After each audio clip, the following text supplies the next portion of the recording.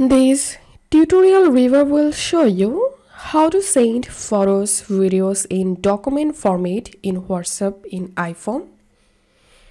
First of all, you have to open your Photos app and open the photo you want to send in document format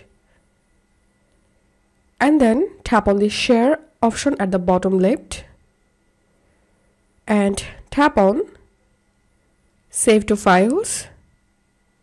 Select a folder and tap on Save. Once the photo saved to your Files app, now open your WhatsApp. Open the conversation. Tap this plus icon at the bottom left. Select Document.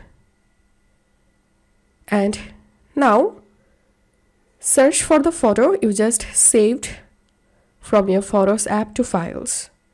So here's the photo. Tap on Send. And this is how we can send photos in document format. And now let's see how to send a video in document format. Again, go to your Photos app and search for the video. Tap on the share icon at the bottom left. Again, tap on Save to Files select a folder save. Once the video is saved to your files app now go to your whatsapp and open the conversation. Tap this plus icon document. And now select the video.